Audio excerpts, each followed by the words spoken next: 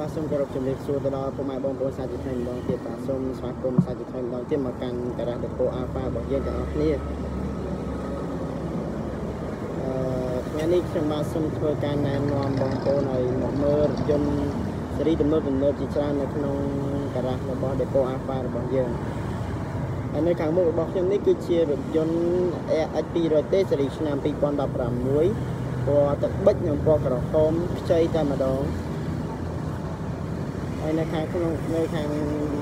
នោះគឺរថយន្ត Alpha ស៊េរីឆ្នាំ2020ជា option executive launch ប្រភេទកៅអី2អត់អាចដើរឆ្លងបានហើយបន្តមកទៀតគឺជារថយន្ត Forerunner ស៊េរីឆ្នាំ2020ដែរបើលឿននោះគឺជារថយន្ត Nissan Juke ស៊េរីឆ្នាំ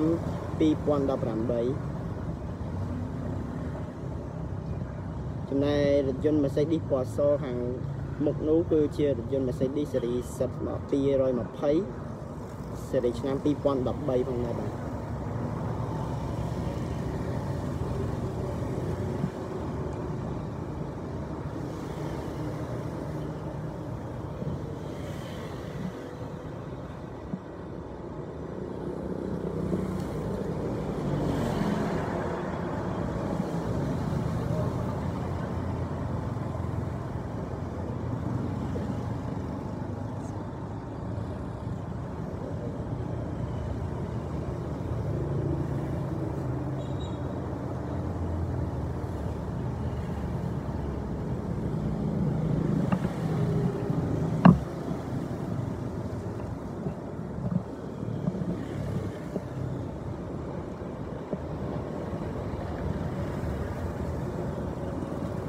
ចេញតែនោះតិចឲ្យវា ចូលម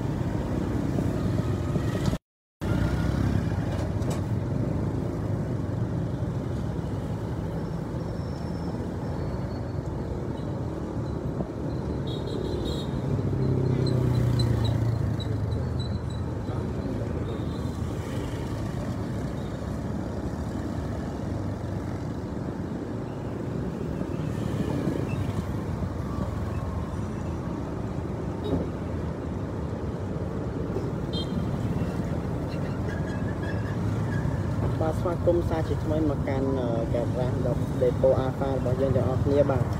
ដល់ Depo Alpha មានទីតាំងស្ថិតនៅបណ្ដោយផ្លូវលោកញ៉ាំមងវិធីអឺនៅចម្ងាយ400ម៉ែត្រពីស្តុបម៉ាក្រូនិងចម្ងាយ500ម៉ែត្រពីអឺវងមូកម្មកោផងដែរបាទហើយជាពិសេសខាងការ៉ាស់ Depo Alpha គឺស្ថិតនៅទល់មុខនឹងបរិយាពេញហូតតែម្ដងបាទ ហើយកណ្ដាស់យើងក៏មានរថយន្តស៊េរីទំនើបទំនើបដែលទៅតែនាំចូលថ្មីថ្មីតែម្ដងបាទចឹងជាបងប្អូនមានការចាប់អារម្មណ៍ក៏ដូចជាអាចមកធ្វើការសាកសួរក៏ដូចជាមកមើលផ្ទាល់តែម្ដងក៏បានដែរបាទមានរថយន្តប្រភេទខ្លាញ់គោជាច្រើនដែលទៅនឹងនាំចូលក៏ដូចជារថយន្តกระดาษពុនរថយន្តខ្លាញ់គោនិងរថយន្តដែលកឹបឡានដេកស្រាប់តែម្ដងហើយ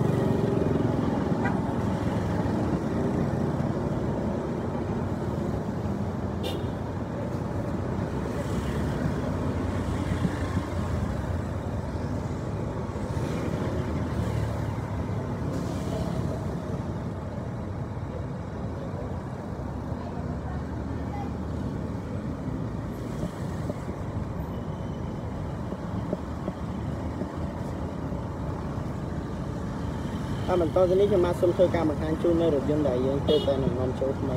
នេះគឺជាប្រភេទរថយន្តផ្លាកលេខស៊េរីឆ្នាំ2013គឺរថយន្ត Mercedes Z220 ឆ្នាំ2013ពណ៌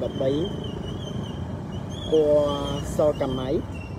ស្រស់ស្អាតមែនតើសម្រាប់ដែលវាសំស្របទៅនឹងអឺបងប្អូនពុកម៉ែបងប្អូនដែលជាយូវេនារីគឺស័ក្តិសមសម្រាប់យូវេនារី បាទខ្ញុំសូមបង្ហាញពីលក្ខណៈជំហៀងរបស់យន្ត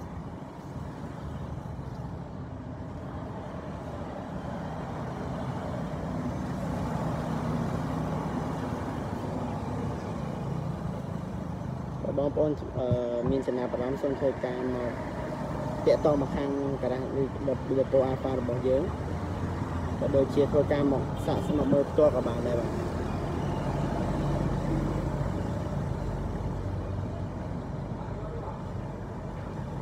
នេះគឺជារថយន្ត Mercedes សេរីឆ្នាំ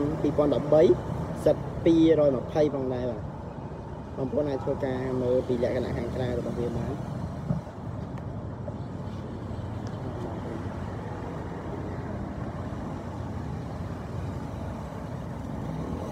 ជាប្រភេទ AMG ខ្លះតែម្ដងនេះគឺជាសម្បកយ៉ាងរបស់រថយន្ត ដែលជាប្រភេទ run flat កង់ run flat ប្រភេទយ៉ាន់18អ៊ីងសូមបញ្ជាក់ថារថយន្តនេះគឺជាប្រភេទរថយន្តកឹបផ្លាកលេខហើយតែម្ដងចឹងបងប្អូនមិនបាច់ធ្វើការអឺបាក់ក្នុងការរើសផ្លាកលេខរើសអីទេបងប្អូនអាចធ្វើការជាវហើយយកទៅប្រើប្រាស់តែម្ដងបាទនេះគឺជារថយន្តដែលកឹបផ្លាកលេខហើយតែម្ដងយន្ត Mercedes Z220 ស៊េរីឆ្នាំ2013ដែលស័ក្តិសមសម្រាប់យុវនារី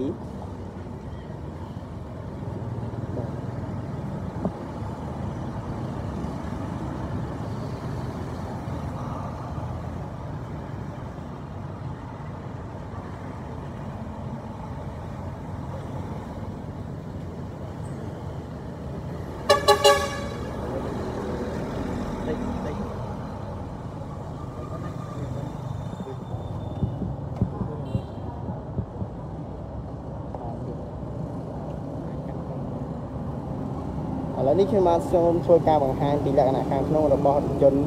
មួយនេះតែម្ដងបាទសូមបញ្ជាក់ថារថយន្តនេះគឺជាប្រភេទរថយន្ត Smart Key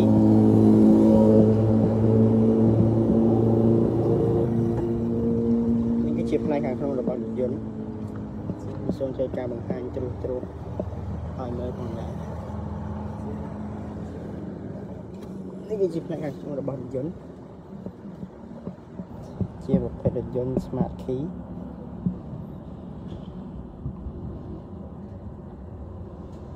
សិនបើពុកម៉ែបងប្អូន មានចំណាប់អារម្មណ៍អាចធ្វើការតំណែងមកខាង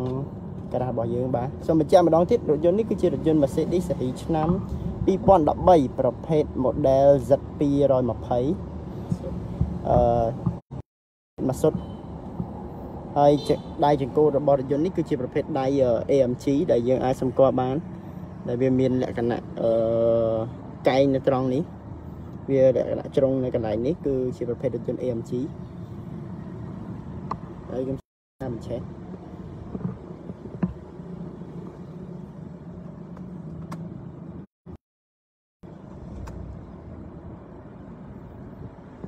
បាទនេះគឺជាលក្ខណៈខាងក្នុងរបស់រថយន្ត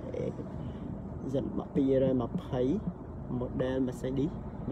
របស់រថយន្ត Mercedes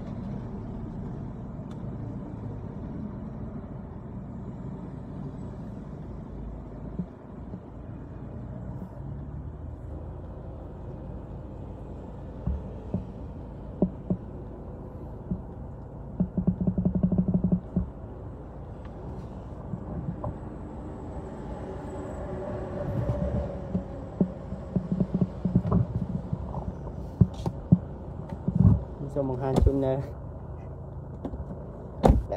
ក្ខណៈខាងក្រៅរបស់រថយន្តមានលក្ខណៈធំទូលាយមែនតើដែលអាចផ្ទុកមនុស្សបាន3ទៅ4នាក់ផងដែរនេះគឺជាលក្ខណៈខាងក្រៅរបស់រថយន្តហើយសូមបញ្ជាក់ម្ដងទៀតថារថយន្តនេះគឺជាប្រភេទរថយន្តមានស្លាកលេខតែម្ដងបាទបើសិនជាបងប្អូនចាប់អារម្មណ៍អាចធ្វើការតាក់ទងបានតាក់ទងមកខាង Depo Alpha បានក៏ដូចជាមកមើលផ្ទាល់តែម្ដងបានក៏បានដែរបាទ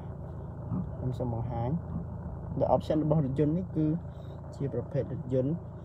model Z220 បាទសូមបញ្ជាក់ម្ដងទៀតគឺជាប្រភេទ Z220 នេះគឺជាចង្កូតប្រភេទចង្កូត AMG ដែលមានជ្រុងនៅចំហៀងនេះនេះគឺជាតាប់ឡូខាងមុខដែល divide ជា3កឡោន3កឡោន3ចាចេញជា3កឡោននេះគឺជាកន្លែងបញ្ចូលលេខរបស់រថយន្តដែលមានលក្ខណៈដូចទៅនឹងប្រភេទរថយន្ត Benz ស៊េរី Benz S Benz Puch ស៊េរី S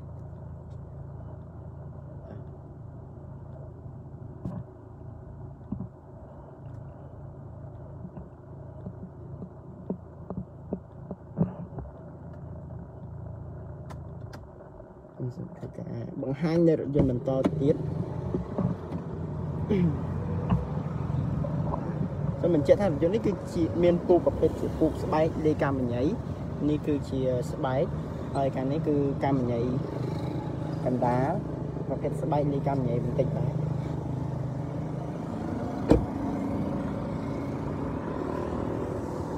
ហើយមកមើលនៅខាងផ្នែកខាងក្រៅរបស់រថយន្តអឺឃ្លាំងរថយន្តរបស់យើងតែម្ដងមានអតិថិជនជាច្រើនមានការចាប់អារម្មណ៍ទៅលើរថយន្តពណ៌ខាងពណ៌ខ្មៅខាងមុខនេះបាទគឺជារថយន្តប្រភេទស៊េរី Brand New ឆ្នាំ2020 model Forerunner រថយន្ត Toyota Forerunner ដែលមានបងប្អូនមួយចំនួនចាប់អារម្មណ៍មែនទែន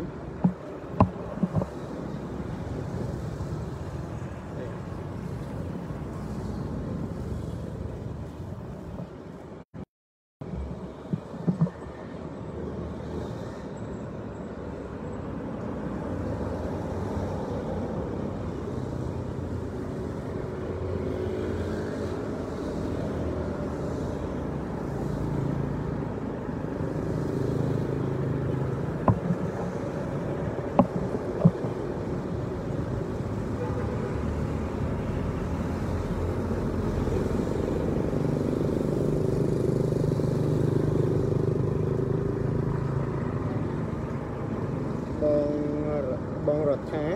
បងចាប់អារម្មណ៍នៅរថ យន្តមួយណាដែរបងប្រភេទរថយន្តមួយណាដែរបងរថយន្ត Mercedes ពណ៌សឬមួយក៏រថយន្តមួយណាដែរបងខ្ញុំអញ្ចឹងខ្ញុំនឹងធ្វើការបង្ហាញនៅលក្ខណៈខាងក្រៅរបស់រថយន្តតែម្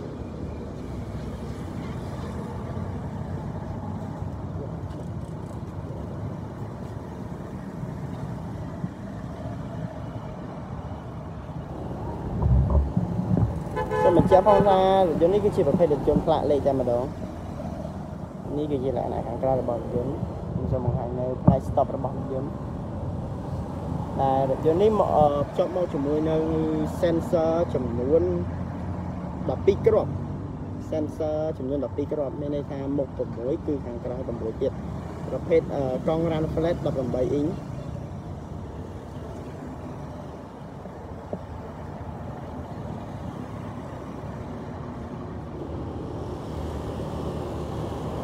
ហើយយើងមកមើលរថយន្តបន្តបន្តទៅទៀតនេះគឺជារថយន្តជុកសេរីឆ្នាំ2018ហើយមួយនេះគឺជារថយន្ត Forerunner សេរីឆ្នាំ2020 Forerunner សេរីឆ្នាំ2020បងប្អូនដែលរថយន្តនេះមានការចាប់អារម្មណ៍ច្រើនមែនទែនពីសំណាក់ពុកម៉ែបងប្អូនមួយនេះគឺជារថយន្តអឺ Alpha សេរីឆ្នាំ2020ជាប្រភេទ Spec Executive Launch ហើយខ្មែរយើងចំណាំហៅថាជាប្រភេទ spec option spec ឬក៏ option ដែលអាចដើរបានអឺដែលអាចដើរបានកៅអីខាងក្រោយពីរគឺអាចដើរទៅវិញអាចដើរនៅចន្លោះកណ្ដាលនៃកៅអីបានទេមួយនេះគឺជារថយន្ត RX 300សេរីឆ្នាំពីអឺរថយន្ត RX 200ទេសេរីឆ្នាំ2016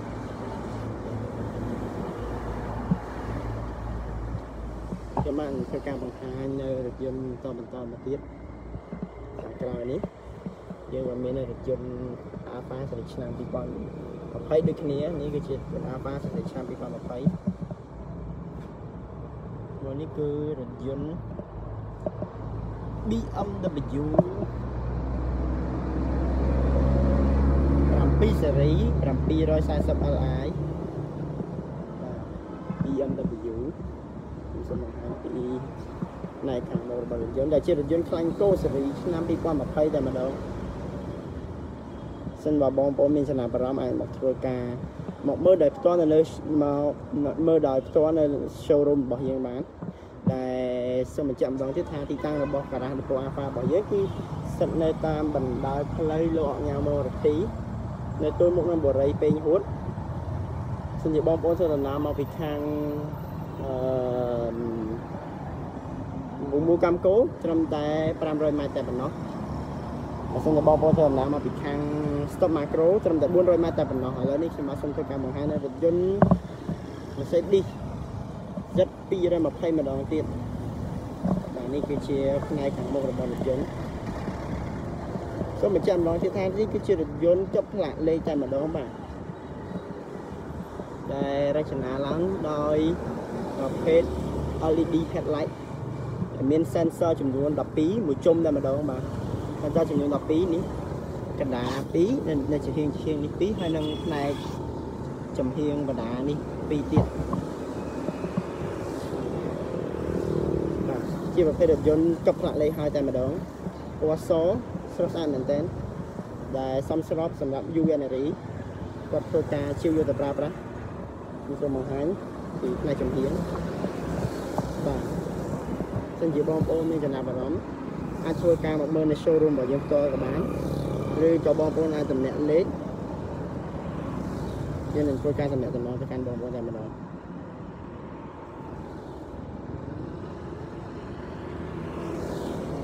បងពៅចម្រើន Nissan Juke ស៊េរីឆ្នាំ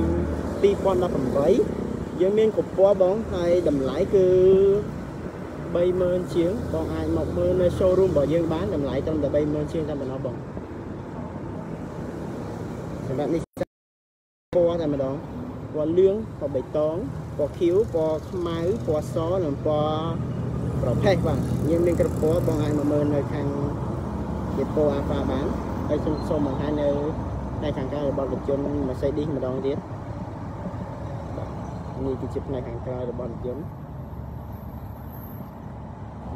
ចំណែកចំណែកផ្នែកខាងក្រៅក៏យើងមាននៅអឺ sensor ចំនួន6គ្រាប់ដូចគ្នាទៅនឹងផ្នែកខាងមុខខ្ញុំសូមបង្ហាញ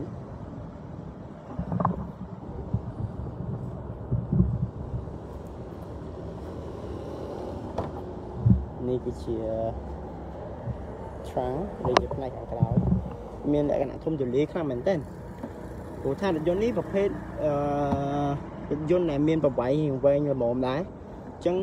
ខាងក្រោយនេះគឺអាចឲ្យបងប្អូនធ្វើការផ្ទុកនៅអីវ៉ាន់បានជាច្រើន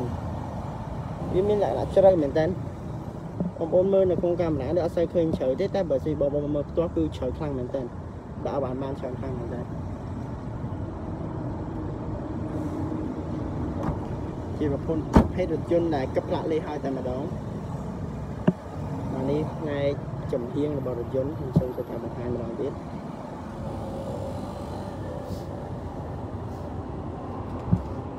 ហើយចំហៀងរបស់រថយន្ត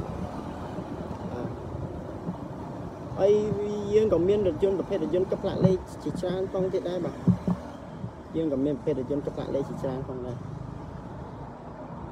គឺក៏បងប្អូនពេញចិត្តនៅប្រភេទរថយន្តខ្លាញ់គោជាច្រើនទៀតក៏យើងមានដែរនេះខ្ញុំសូមធ្វើការដើរបង្ហាញបងប្អូនមួយមួយហើយផ្នែកខាងនេះគឺជា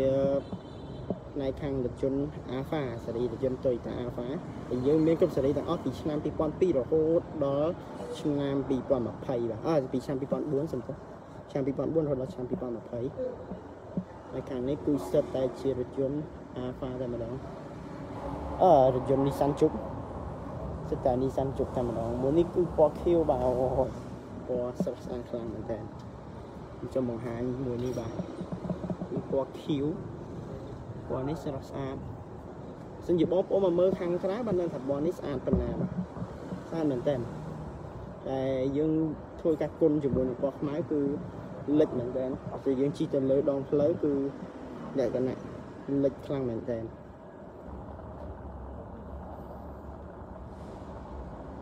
ចំណែកយន្ត BM មួយនេះក៏ជាប្រភេទរថយន្តដែលកឹបផ្លាកលេខហើយដែរបងប្អូនអាចមើលបាននេះគឺជារថយន្តប្រភេទ BMW 5 Series ក៏ជាប្រភេទរថយន្តដែលកឹបផ្លាកលេខហើយដែរបងប្អូនអាចមើលពីលក្ខណៈមុខចំចំហៀងនិងខាងក្រៅបាន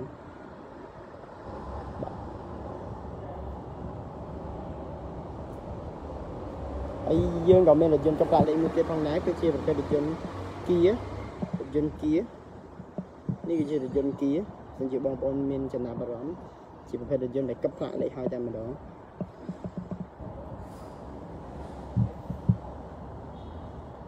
អាចធ្វើការតំណែងមកខាង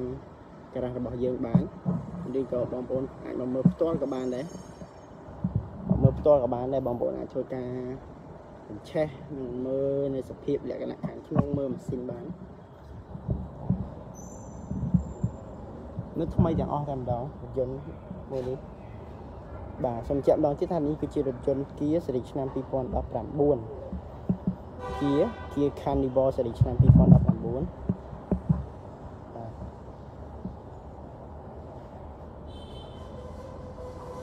ហើយខ្ញុំសូមធ្វើការបង្ហាញបន្តទៀតយើងក៏មានរថយន្តប្រភេទ អឺ Alpha ជាច្រើនទៀតផងដែរបាទគឺមានច្រើននៅក្នុង stock របស់យើងមានច្រើនមែនតើដោយសារយើងដាក់ឈ្មោះថា Depot Alpha ហើយយ៉ាងមានន័យថាសិតតែរថយន្ត Alpha តែម្ដងសូមជាបងប្អូនមានចំណាប់អារម្មណ៍អាចមកទស្សនាដែលផ្ទាល់បានបាទសិតតែរថយន្ត Alpha ពីស៊េរីឆ្នាំ2004រហូតដល់2020ជាក់ស្ដែងយើងមានជាប្រភេទរថយន្តស៊េរីឆ្នាំ2004 2006 2008 2009អីគឺច្រើនមែនតើនេះបាទខ្ញុំសូមបង្ហាញ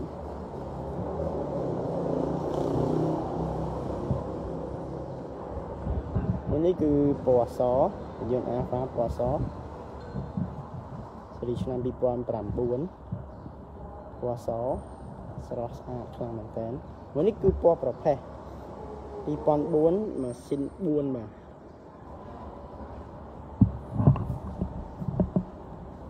សិនជាពុកម៉ែបងប្អូនមានចំណាប់អារម្មណ៍អាចធ្វើការមកមើលផ្ទាល់នៅខាងការ៉ារបស់យើងក៏បានដែរមើលនេះគឺរថយន្ត Alpha ម៉ាស៊ីន4ឆ្នាំ2004ដូចគ្នាខាងនោះក៏ម៉ាស៊ីន4 2004ដូចគ្នាដែលយើងមានច្រើនពណ៌ឲ្យជ្រើសរើសយើងមានពណ៌ប្រាក់ពណ៌ប្រផេះនិងពណ៌សហើយសូមបញ្ជាក់ផងដែរថារថយន្តនៅ Alpha ប្រភេទស៊េរី Alpha នេះគឺយើងនាំចូលដោយផ្ទាល់ពីខាងប្រទេសជប៉ុនតែម្ដង អញ្ចឹងរថយន្តគឺយើងហ៊ានធានាពីគុណភាពតែម្ដងមានន័យថាយើងធានាពីគុណភាពថាអត់មានកាត់តអត់មាន slow ពណ៌អត់មានអីទេបាទមិនមែនជារថយន្តដែលអត់ល្អដែលគុណភាពអត់ល្អទេបើសិនជាបងប្អូនដែលធ្លាប់ជួនៅខាងយើងគឺគាត់ដឹងហើយថារថយន្តនៅខាងយើងគឺល្អប៉ុណ្ណាគុណភាពហ៊ានធានាតែម្ដងថាគឺមិន slow ពណ៌មិនកាត់តក៏ដូចជាមិនជ្រាបទឹកទេរថយន្តនៅស្រស់ស្អាតមួយជុំគឺស្អាតមួយជុំតែម្ដង បាទយើងសូមបង្ហាញយើងមានជាច្រើនទៀត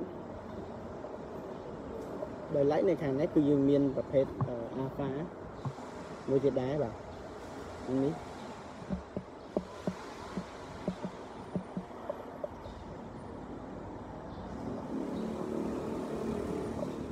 សុទ្ធតែជាប្រភេទរថយន្ត alpha ទាំងអស់បាទបងប្អូនមានចំណាប់អារម្មណ៍អាចធ្វើការតាក់ទងខាង depot alpha បានឬក៏បងប្អូនអាច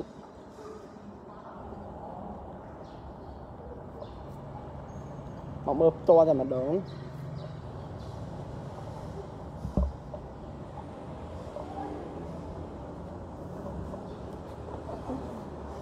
Ja, still. That is happening.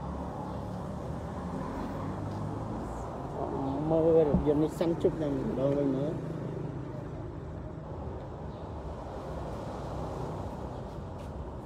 សួស្ដីបងប៉ាប៉ាសូណាបងអឺបងចង់សួរអំពីរថយន្តមួយណាដែរបង ពណ៌សបងចង់សួរអំពីរថយន្តមួយណាដែររថយន្ត Alpha ពណ៌សនៅខាងក្រៅនោះមែនបងសាមអឺសម្រាប់រថយន្ត Alpha នៅខាងក្រោយពណ៌សដែលបងចង់សួរនេះគឺអឺ0809បងតម្លៃ30ជាងតម្លៃ30ជាងបងបងអាចធ្វើការ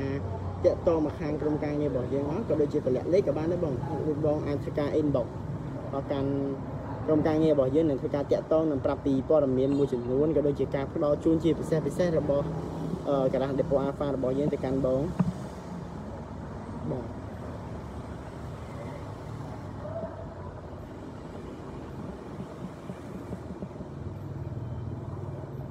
ហើយបើយើងមកមើលពីគ្រឿងនេះវិញបាទគឺថាយើងទៅតែនាំចូលអត់បានមួយអាទិត្យទេទៅតែកាត់ចូលពីខាងប្រទេសជប៉ុនដែលផ្ទាល់តែម្ដងអត់បានមួយអាទិត្យទេខ្ចីញញតែម្ដងបាទពណ៌គឺថាស្រស់ស្អាតមួយជុំនេះគឺពណ៌ទឹកប្រាក់រយន្ត Alpha ពណ៌ទឹកប្រាក់ស៊េរីឆ្នាំ2008ម៉ាស៊ីន4ទំហំចំណុះស៊ីឡានគឺ2.4 2.4លីត្រតែម្ដងហើយបើនិយាយថាទឹកឆ្នាំវិញគឺថាមួយជុំនៅខ្ចីតែម្ដងអត់មានបុកអីមកពីនាយវាអីទេហើយក៏អត់មានកាត់តស្លោពណ៌ជាតុកជាអីដែរហ៊ានធានាជូនតែម្ដងបាទ ចឹងជាបងប្អូនយកទៅជីកមានបញ្ហាបងប្អូនអាចយកមកខាងការ៉ាស់របស់យើងបានយើងនឹងធ្វើការជួសជុលឲ្យបងតែម្ដងចឹងជាបងមានចំណាប់អារម្មណ៍បាទសូមបញ្ជាក់ម្ដងទៀតថាការ៉ាស់របស់យើងគឺនៅទល់មុខទៅនឹងបូរីពេងហួតតែម្ដងបាទបូរីពេងហួតហើយបើបងប្អូនជិះមកពីខាងរំលងមូកម្មកោគឺត្រឹមតែ500ម៉ែត្រតែប៉ុណ្ណោះនៅលើដងផ្លូវលោកអញ្ញាមងរទ្ធីសូមបញ្ជាក់ម្ដងទៀតគឺនៅលើដង ផ្លូវលោកអញ្ញាមងរទ្ធីបើសិនជាជិះពីស្តុបម៉ាក្រូមកគឺត្រឹមតែ400ម៉ែត្រតែប៉ុណ្ណោះបាទហើយខ្ញុំសូមបង្ហាញជូនបន្តទៀតបាទនេះគឺជារថយន្ត Forerunner ដែលមានអតិថិជនជាច្រើនធ្វើការចាប់អារម្មណ៍ទៅលើរថយន្តមួយនេះបាទរថយន្តមួយនេះគឺកំពុងតែធ្វើឲ្យមានការចាប់អារម្មណ៍ជាខ្លាំងពីសំណាក់មហាជនទាំងមូលតែម្ដងគឺស័ក្តិសមតែមែនតែនវាបង្ហាញអំពីលក្ខណៈ អំណាចតែម្ដងបើសិនជាបងប្អូនជឿយកទៅប្រើប្រាស់នេះគឺជារថយន្តប្រភេទ SUV កាត់ rock ហើយនិងកាត់ sport ដែលបងប្អូនអាចយកប្រើប្រាស់ទៅលើផ្លូវ off road ក៏បានដែររថយន្តប្រភេទនេះក៏បងប្អូនអាចធ្វើការប្រើប្រាស់ទៅលើផ្លូវ off road ក៏បានដែរខ្ញុំសូមបង្ហាញជូននៅលក្ខណៈខាងមុខតែម្ដងក៏បញ្ជាក់ថារថយន្តនេះគឺទទួលការចាប់អារម្មណ៍ខ្លាំងមែនទែនដែលយើងទើបតែកាត់ចូលអត់តាន់មួយអាទិត្យទេ រថយន្ត Forerunner ស៊េរីឆ្នាំ2018បងមានចំណាប់អារម្មណ៍អាចធ្វើការតាក់ទងមកខាងយើងបានស៊េរីឆ្នាំ2018ដែលមានយ៉ានកង់20អ៊ីងប្រភេទរថយន្ត Rock កាត់ SUV រថយន្តនេះគឺជារថយន្ត SUV បាទរថយន្ត SUV ហើយក៏ជាប្រភេទរថយន្ត off road ផងដែរ SUV ហើយ off road ហើយរថយន្តនេះគឺជាប្រភេទរថយន្តដែលមានកៅអី3ជួរបាទព្រោះថាយើងឲ្យវាថាជារថយន្ត SUV ចឹងវាមានកៅអី3ជួរដែលអាចផ្ទុកមនុស្សពីចន្លោះពី8ទៅ9នាក់បាទហើយយើងជាស្តង់ដារតែម្ដងគឺបាន7នាក់តែបើសិនជាយើងជិះរៀងពញាតិចគឺបានពី8ទៅ9នាក់តែម្ដងបាទ រួចរាល់ឡើងបាទព្រោះរថយន្តនេះគឺមានការចាប់អារម្មណ៍ខ្លាំងមែនទែនពីសំណាក់មហាជនបាទហើយស័ក្តិសមមែនទែនគឺវាបង្ហាញអំពីប្រណិតភាពនិងអំណាចមែនទែនបាទចឹងជាបងប្អូនដែលគាត់រកស៊ីជាមួយនឹងជនជាតិចិនអីគាត់អាចជឿរថយន្តប្រភេទនេះយកទៅប្រើប្រាស់បានគឺអំណាចមែនតើបើយើងជិះចូលក្នុងអឺចំណោមគេគឺចូលបានតែម្ដង ដាក់ក្បែរ570អីគឺថាចង់ច្រឡំដែរអូទំហំវាស្ទើរតែប៉ុនជាមួយនឹង570តែម្ដងហើយបើនិយាយពី option មួយចំនួនគឺអត់ចាញ់គ្នាទេអត់ចាញ់ទៅនឹងរថយន្តដែលមានតម្លៃ20 30ម៉ឺនទេបាទ option គេមានប៉ុណ្ណាមានប៉ុណ្ណឹងដែរបាទអញ្ចឹងបើសិនជាបងប្អូនមានចំណាប់អារម្មណ៍អាចធ្វើការតាក់ទងមកកាន់ការ៉ាស់របស់យើងបានក៏ដូចជាធ្វើការមកមើលផ្ទាល់តែម្ដង នៅលើផ្លូវអញ្ញាមរទីទៅមកទៅនឹងបរិយពេញហួរតែម្ដងបាទ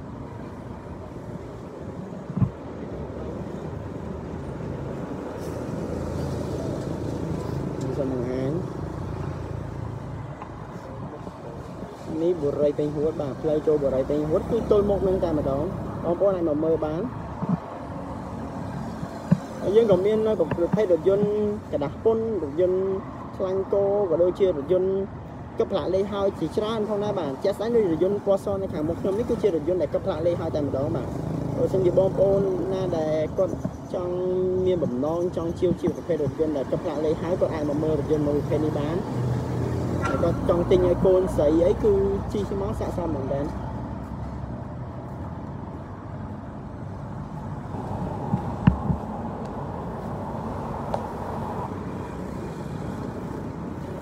នេះបើនិយាយពីរថយន្តពណ៌លឿងមួយនេះវិញតាក់ទាញខ្លាំងមែនតើសម្រាប់មហាជនទាំងមូលគឺមានការតាក់ទាញខ្លាំងមែនតើដោយរថយន្តនេះគឺជាប្រភេទរថយន្តទូចទូចខ្ជុះខ្ជុះស្អាតស្អាតបើសិនជាបងប្អូនជឿឲ្យកូនស្រីបើកអីគឺថាខ្ជុះទាំងមនុស្សខ្ជុះទាំងឡានទាំងរថយន្តខ្ជុះមែនតើទូចទូចល្មមធ្វើការ ជាពិសេសគឺវាសមស្របទៅនឹងស្ថានភាពផ្លូវនៅក្នុងទីក្រុងភ្នំពេញតែម្ដងហេតុអីបានខ្ញុំនិយាយអញ្ចឹងគឺវាទូចប៉ុន្តែខាងក្នុងវាគឺអាចផ្ទុកមនុស្សពីចន្លោះពី4ពី5នាក់ទៅ6នាក់បានជិះដោយពី5ទៅ6នាក់ដោយគ្មានក្តីបារម្ភតែម្ដងរថយន្តមួយនេះបាទហើយបើនិយាយពីថាអូរថយន្តទូយើងខាច់លិចទឹកអីបាច់ព្រួយបារម្ភទេបាទរថយន្តនេះគឺអត់អត់លិចទឹកទេហើយវាក៏មានខ្ពស់វាក៏មានកម្ពស់វាពីដីគឺខ្ពស់ជាងរថយន្តផ្សេងផ្សេងទៀតផងដែរ ដែលយើងធ្វើការប្រៀបធៀបទៅគឺខ្ពស់ជាងរថយន្តព្រុសរថយន្តព្រុសបាទដែលយើងប្រៀបធៀបទៅគឺខ្ពស់ជាងរថយន្តព្រុសអញ្ចឹងបើសិនជាបងប្អូនមានបំណងមានចេតនាចង់ជាវប្រភេទរថយន្តព្រុសបងប្អូនអាចធ្វើការពិចារណាលើរថយន្តមួយនេះបាន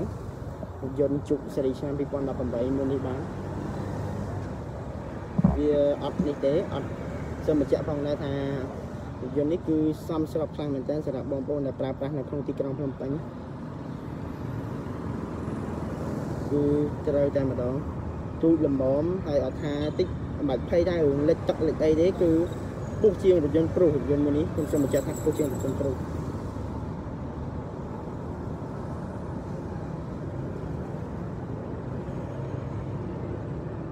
បង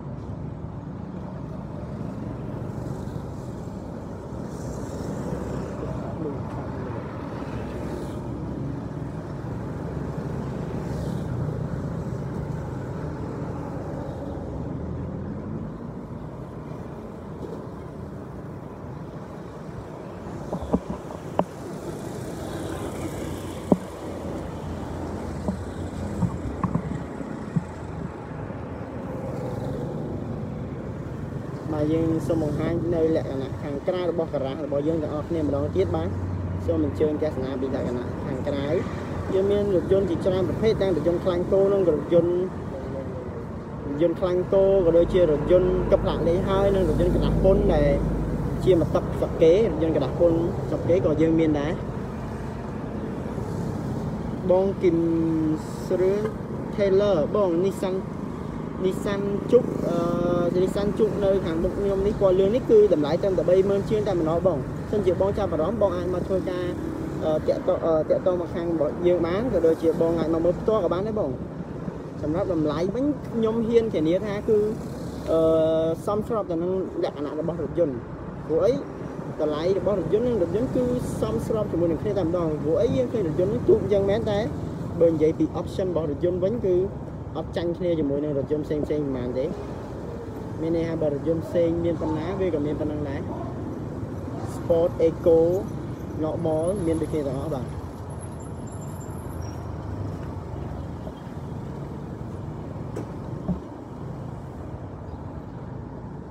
បងម៉ូសារ៉ាន់បាទបងតម្លៃ ពណ៌លឿងរថយន្តជុកនេះសេរីឆ្នាំ2018ពណ៌លឿងនេះគឺតម្លៃតាមតែ30000ជាងតែប៉ុណ្ណោះបងបងអាចមកមើលផ្ទាល់តាមតាមតែម្ដងក៏បានដែរបងមិនមែនជារថយន្តកន្លះពុនទេបាទសូមបញ្ជាក់ម្ដងទៀតគឺជារថយន្តខ្លាញ់គោរថយន្តខ្លាញ់គោតែម្ដងបាទសូមសូមសូមសូមបញ្ជាក់ផងដែរបាទសូមបញ្ជាក់ម្ដងទៀតបាទរថយន្ត Nissan Juke ស៊េរីឆ្នាំ2018នេះគឺតម្លៃ30000ជាងតែប៉ុណ្ណោះហើយបងប្អូនបាទ កុំគិតថារថយន្តនេះថ្លៃបាទបើចឹងជាបងប្អូនមកមើលនៅ showroom របស់យើងផ្ទាល់បានដឹងថារថយន្តនេះគឺតម្លៃ30000ជាងនេះស័ក្តិសមនឹងតម្លៃតែម្ដងបាទដោយសារតែបងប្អូនមួយចំនួនអត់បានតបានមកមើលនៅ showroom របស់យើងសិនជាបងបានមកមើលនៅ showroom របស់យើងបានបងដឹងថារថយន្តនេះស្អាតស្រស់ស្អាតហើយវាមានតម្លៃសមរម្យសិនជាបងប្អូនជឿយកទៅប្រើប្រាស់គឺវាស័ក្តិសមទៅនឹង លក្ខណៈរបស់វាលក្ខណៈពិសេសរបស់រថយន្តគឺស័ក្តិសមតែម្ដងសូមបញ្ជាក់ផងថារថយន្តនេះមានចំណោះស៊ីឡាង1.6ដែលសមស្របសម្រាប់តម្រូវការបងប្អូនក្នុងការប្រើប្រាស់ក្នុងទីក្រុងវាស៊ីសាំងចំណោះពី6ទៅ7លីត្រតែប៉ុណ្ណោះនៅអឺនៅក្នុងក្រុងពី7លីត្រទៅទៅពី6ទៅ7លីត្របាទ6កន្លះទៅ7លីត្រកន្លះឯហ្នឹងឯងបាទ គឺស័កសមល្មមហើយបើនិយាយពីកម្លាំងម៉ាស៊ីនវិញគឺមាន spec ក៏ដូចជា option រហូតដល់ទៅ3 option តែម្ដងវាមានប្រភេទ eco មាន normal ក៏ដូចជា sport អញ្ចឹងបងប្អូនជារថយន្តមួយនេះទៅប្រើប្រាស់ហើយគឺអត់ខកបំណងទេព្រោះថា spec រថយន្តនេះគឺរថយន្តផ្សេងផ្សេងតម្លៃរាប់ម៉ឺនដុល្លារ8 90000អីក៏មាន spec ដូចគ្នាជាមួយនឹងរថយន្តមួយនេះដែរអញ្ចឹងណាអត់ចាញ់គេទេ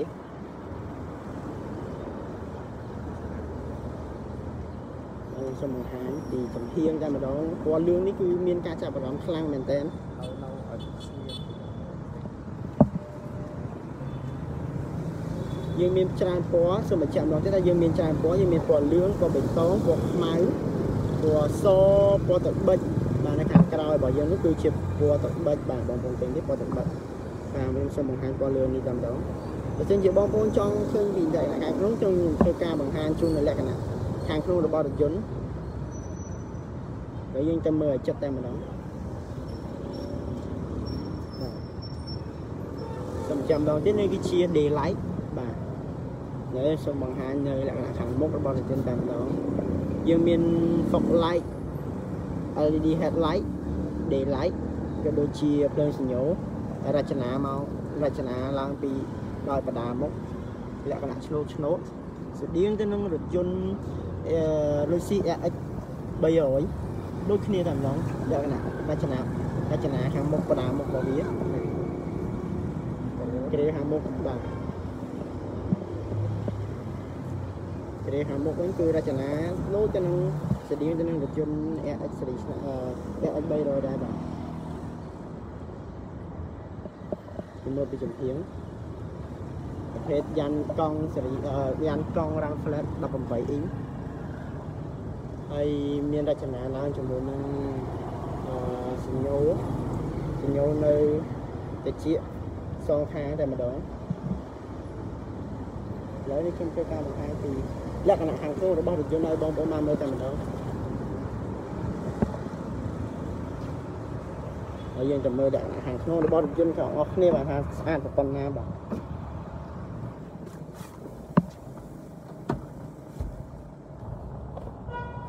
ហើយយើងមកមើលពីចាប់ពីទ្វារមកមុនតែម្ដងបាទដែល design ឡើងក៏ដូចជារចនាឡើងជាប្រភេទ scroll ដៃទ្វារជាប្រភេទ scroll ខ្ញុំសូមបញ្ជាក់ថារថយន្តនេះគឺអត់ថ្លៃទេបើមិនជាបងប្អូនមកមើលលើ showroom របស់យើងហើយធ្វើការតេស្តផ្ទាល់ធ្វើការបញ្ឆេះរថយន្តក៏ដូចជាមើលមកមើលលើរថយន្តផ្ទាល់តែម្ដងគឺអត់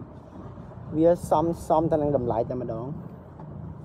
នេះគឺ scroll ហើយនេះគឺផ្នែកចំហៀងផ្នែកខាងក្នុងរបស់រថយន្ត ហើយតាប់ឡូរចនាឡើងជាប្រភេទយន្តទូកឈូឈូសូមបញ្ជាក់ម្ដងទៀតថារថយន្តនេះគឺជាប្រភេទរថយន្ត Smart Key នេះគឺជាប៊ូតុង Start Stop បាទប៊ូតុង Start Stop ហើយយើងមាន option រហូតដល់ទៅ3ដែរនោះបាទបងប្អូនអាចធ្វើការមើលបានបាទ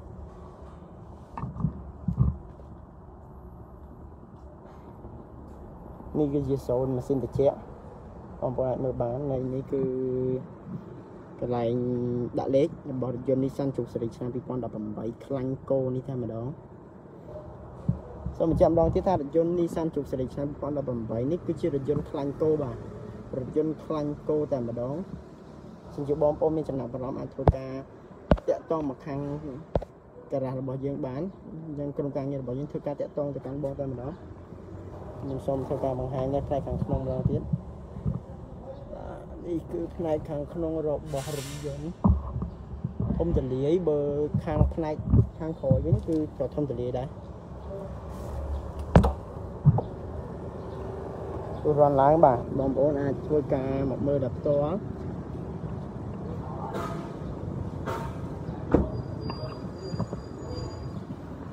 ខ្ញុំសូមបង្ហាញពីលក្ខណៈខាងក្រោយធំទលាយមែនតើ សម្រាប់បងប្អូនដែលធ្វើដំណើរទៅខេត្តគ្នាធំ5នាក់អីដាក់អវ៉ាន់គឺលំមមកគូតក្រោយតែម្ដងបងប្អូនមើលក្នុងនេះអាចមើលឃើញរៀងទូប៉ុន្តែបើសិនបងប្អូនអាចមកមើលនៅ showroom តែម្ដងគឺធំមែនតើអត់ទូទេធំមែនតើបាទគ្រប់នេះសឹងតែធំមែនតើខ្ញុំសូមបង្ហាញពីគ្រប់ខាងក្រោយនេះ ផ្នែកខាងក្រោយបាទបិទជាមួយនឹង Depo Alpha នេះបាទយន្ត Nissan Juke Series ឆ្នាំ2018យ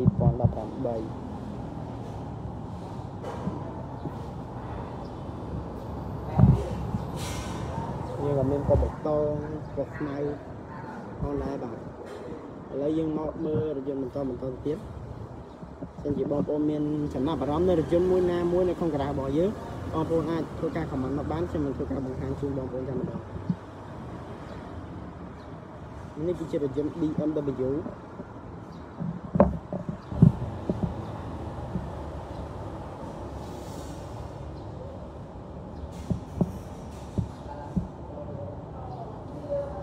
ពី BMW 740 Li តែម្ដង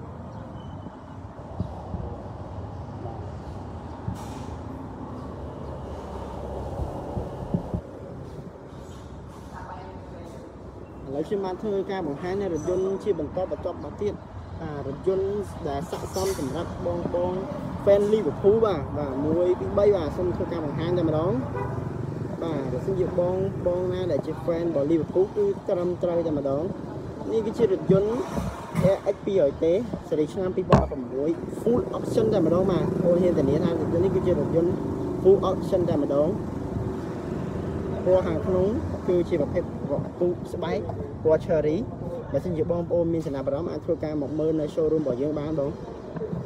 សូមបញ្ជាក់ម្ដងទៀតថារថយន្តនេះគឺជារថយន្ត AX 200T សេរីឆ្នាំ2016 full option តែម្ដង full option ហើយដើម្បីបងប្អូនហ៊ាននិយាយថានេះជារថយន្ត full option ព្រោះថាយើងមាន blind spot នៅត្រង់នោះបាទយើងមាន blind spot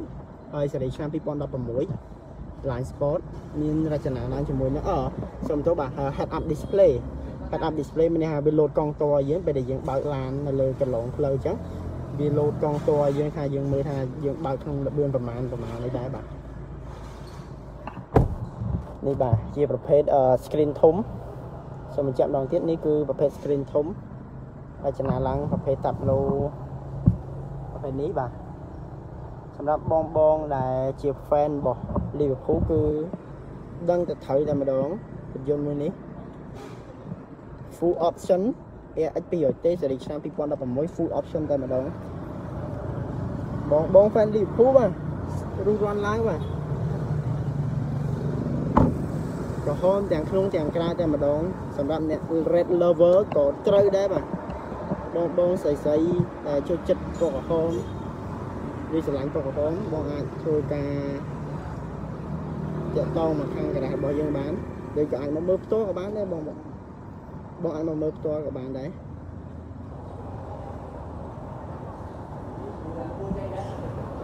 ដែលវាមានពណ៌ក្រហមទាំងក្នុងនិងទាំងក្រៅតែម្ដងពណ៌ក្រហម cherry ខាងក្នុងគឺពណ៌ក្រហម cherry សូមបញ្ជាក់ម្ដងទៀតថារថយន្តនេះគឺជាប្រភេទរថយន្ត AX 200T ស៊េរីឆ្នាំ2016 full option តែម្ដង full option ហើយខាងក្រោយយើងមានសូនម៉ាស៊ីនជែកម្នាក់មួយហើយយើងមានកៅអីកម្ដៅនេះគឺ option កម្ដៅកៅអី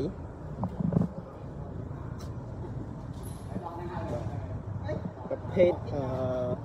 បាស Mark 11 Mark 11នេះគឺជាប្រភេទបាសដែលមានដាក់នៅក្នុងប្រភេទរថយន្ត Range Rover សេរីឆ្នាំ2016ឡើងមកគឺយើងមានហើយអឺប្រភេទ Mark ប្រភេទ Mark speaker Mark 11ហើយខាងក្រោយនេះយើងមាន Rido បាទ Rido សម្រាប់លើកមកដាក់សម្រាប់បងប្អូនដែលសម្រាប់អ្នកដំណើរដែលនៅជាខាងក្រៅនេះគឺ គាត់អត់ព្រួយបារម្ភពីរឿងក្តៅទេព្រោះយើងមាន Rido សូមបញ្ជាក់ម្ដងទៀតថារថយន្តនេះគឺជាប្រភេទរថយន្តកដាស់ពុនប្រភេទរថយន្តកដាស់ពុនសេរីឆ្នាំ2016សម្រាប់ fan Liverpool គឺត្រូវតែម្ដងឬក៏សម្រាប់បងបងណាដែលជា Red Lover តែខាងក្រោយយើងក៏មាន Rido ដែរនេះបាទ Rido សម្រាប់បងបងបងប្អូនដែលជារថយន្តនេះយកទៅប្រើប្រាស់ចឹ ង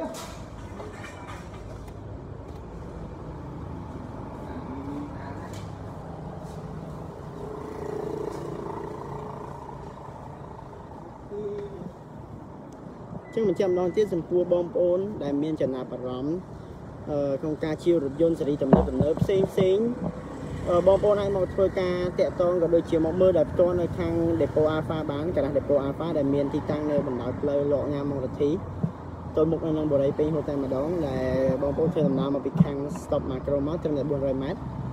តែប៉ុណ្ណោះបាទធ្វើដំណើរមកពីខាងរង្វង់មូលកម្មគោគឺត្រឹមតែ500ម៉ែត្រតែប៉ុណ្ណោះ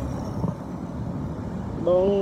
បើសិនជាបងធ្វើដំណើរមកពីខាង stop macro បងមើលខាងស្ដាំដៃបងនឹងឃើញហើយបាទនេះគឺផ្លាករបស់ Depo Alpha តែម្ដង ចឹងជាបងបងដែលមានបំណងចង់ទិញប្រភេទរថយន្ត Alpha សេរីឆ្នាំ2004រហូតដល់ឆ្នាំ2020អាចតំណែងតំណងមកខាង Depo Alpha របស់យើងបានយើងមានផ្ដល់ជូននៅសេវាកម្មពិសេសក៏ដូចជាការផ្ដល់ជូន promotion ពិសេសពិសេសជាច្រើនទៀតផងដែរបាទយើងក៏មានយើងមានរថយន្តច្រើនសូមបញ្ជាក់ថាយើងមានរថយន្តច្រើនក្នុងការជ្រើសរើសនេះគឺជារថយន្ត RX 300បាទយើងមានរថយន្ត RX 300 Alpha យើងជាច្រើនច្រើនទៀតផងដែរបាទសម្រាប់បងប្អូនដែលមានចេតនាមានបំណងចង់ជារថយន្តអាចមកមើលនៅខាងការ៉ាស Depot Alpha របស់យើងបានបាទបាទមុនពេលបញ្ចប់នៅការ live របស់ខ្ញុំបាទខ្ញុំបាទសូមធ្វើការខាន់សូមការខន្តីអភ័យទោសពីពុកម៉ែបងប្អូនបើសិនបើការនិយាយក៏ដូចជាអត្ថាធិប្បាយរបស់ខ្ញុំមានកំហុស លើសលួសខ្វះខាតត្រង់ណាក៏សូមខន្តីអភ័យទោសផងដែរបាទដូច្នេះខ្ញុំធ្វើការបិទ live បញ្ចប់ live របស់ខ្ញុំត្រឹមតែប៉ុណ្ណេះបាទសូមអរគុណច្រើនសម្រាប់ការតាមដានទស្សនាในការ live របស់ខ្ញុំតាំងពីដើមរហូតដល់ចប់បាទអរគុណច្រើនជម្រាបលា